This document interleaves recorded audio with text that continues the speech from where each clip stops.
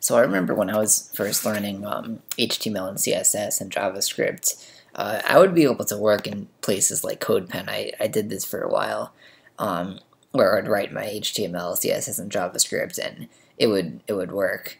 But I didn't know how to like set it up myself in in the text editor and stuff like that. And I remember I would have to Google for things, and I would copy and paste code like this, code that looks like this, and I wouldn't know what it would mean. I wouldn't know how it would work, but I just knew this was part of my my setup process. Um, and I would be copy and pasting like this. It reminds me of uh, back in college when I would take classes with Java. I would do public static void main whatever, and it was just something I would do to to before I needed to code. Uh, I didn't know what it did or how it worked, but I would just do it, and it's similar to this. So let me copy and paste my code from CodePen in quickly. Um, got the HTML.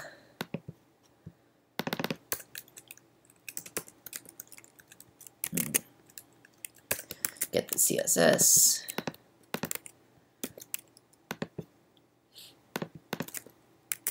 And get the JavaScript. So yeah, I would always have to copy and paste before I would get started. So in this video, I'm gonna show you how you can get started yourself, and I'm gonna explain, you know, what's happening. So to do this, let me go through a trace of what I've got here. Um, okay, so I'm gonna do this. Um, what's happening here? Well, let's see. I've got my client. I've got my server. And my server has these three files.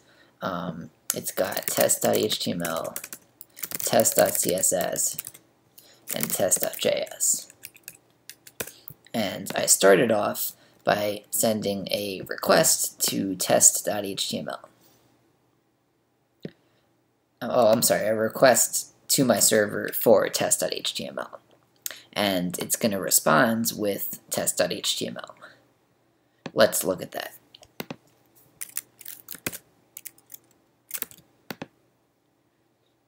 Let me do this. No, good. Okay, so request is going out to test.html and it responds with the HTML that I wrote. You can see this this here is the same as what I've got in my browser, in my, in my editor. Okay, and as we know, browsers, um, they, they run and interpret and render HTML for you. So your browser is literally going to go through this line by line.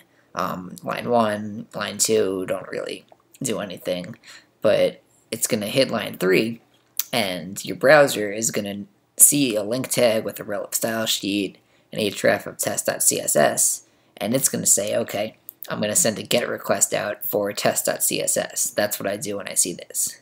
So, as you can see, that's what's happening here.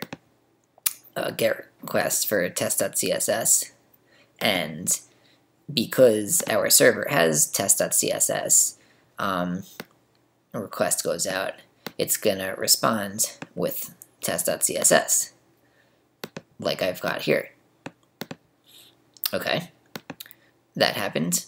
Um, and I should note that, um, so when I hit line 3, it paused. Uh, it paused here, it sent the request out, and waited for the response. When the response came back, then it continued. So the response comes back, then it goes to line 4. Sees line 4, eh, says, what do I do here? What it does here is it sends a GET request out for test.js and as you can see, get request for test.js.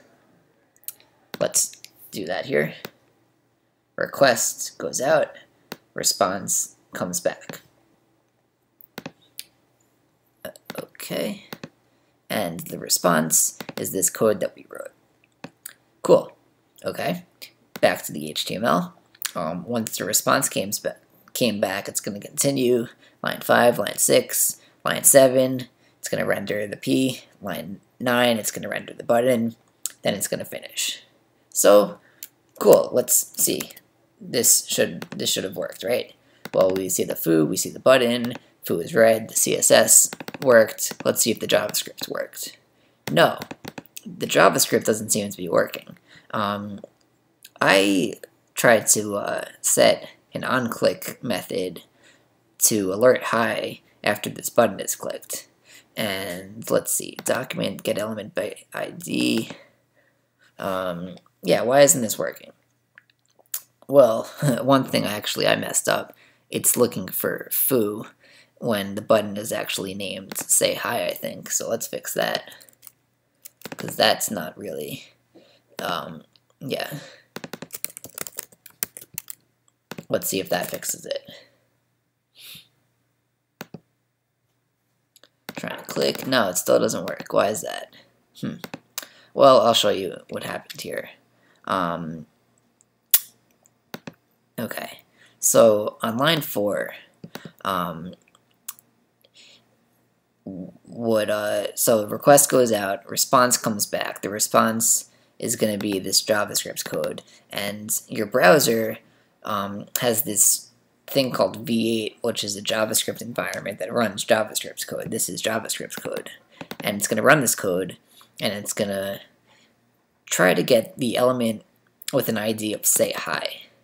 And it's actually going to fail to do this. And you can see in the console, um, it says cannot set property on click of null. So back here, um, it's saying that this right here is null. And the reason for that is because um, it couldn't find an element with an ID of say hi. And you're probably thinking like, why is that? Um, I have this element, uh, sorry, this element right here with an ID of say hi. Why is it saying that it didn't find it? Um, and I'll tell you the, the reason for that is because when this is running, this stuff all here, everything beneath it doesn't exist yet. Um, the request went out, the response and came back. It's running through the JavaScript code, interpreting it, but things are paused at this point. So none of this happened yet. And the JavaScript code is trying to look for an element of an ID, say hi, before it exists. So that's the problem. And yeah, the solution to that I'll show you is to change the order that things get executed. So if we um, tell it to render these elements before running the JavaScript, when the JavaScript runs, this is going to exist, so it's going to work. And I'll show you that. Cool. There we go.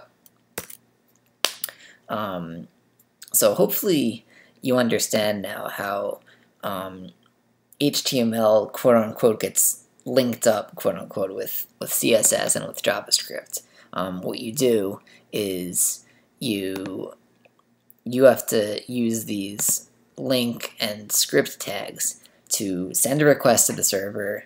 Um, you know, the server has to have the files and it responds with them. And when it responds with them, the browser uh, you know, it executes them and it runs them. So your job basically is to just send the request with these tags. And obviously you have to keep in mind to if your if your JavaScript is trying to use these DOM elements, you have to put the they have to be available, so you have to put the script tag beneath it. And um, that actually isn't always true. So you may have actually seen people do this and have things work and wonder how does that happen? And the answer to to that question is because people will wrap their JavaScript in something like this. Document dot add event listener um, DOM content loaded.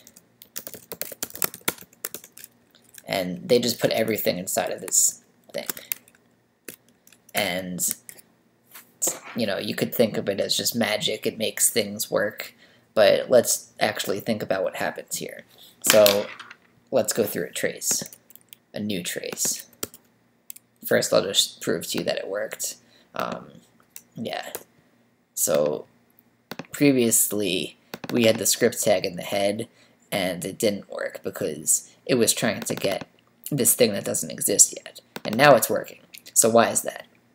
So, okay, request goes out for HTML, response comes back, browser runs through, CSS does its thing, sends a request out for this JavaScript file. Let's look at that. Request goes out, response comes back, the browser, the V8, um, runs through the JavaScript code, and it um, has the document object that's part of the environment, and it's calling this function called add event listener. It's passing in DOM content loaded as the first argument, and it's passing this callback function in as the second argument. And it's going to know to, to listen for a DOM content loaded event, and when that happens, run this callback function. And that's it. So back to our JavaScript, that's all that happened here. And things are going to continue uh, because the JavaScript's uh, finished executing. So line 7, ptag does its thing, button does its thing, and this is the key point. So after this right here, all these DOM elements have been loaded already. So the browser is going to trigger an event called DOM content loaded. All these DOM content things have been loaded. And we already set up a listener for that event uh, and to run this function when that happens.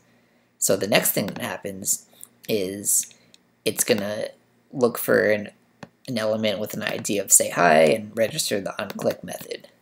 And that's going to work because the say hi element has been loaded already. So then when, we go to click it, the alert box pops up.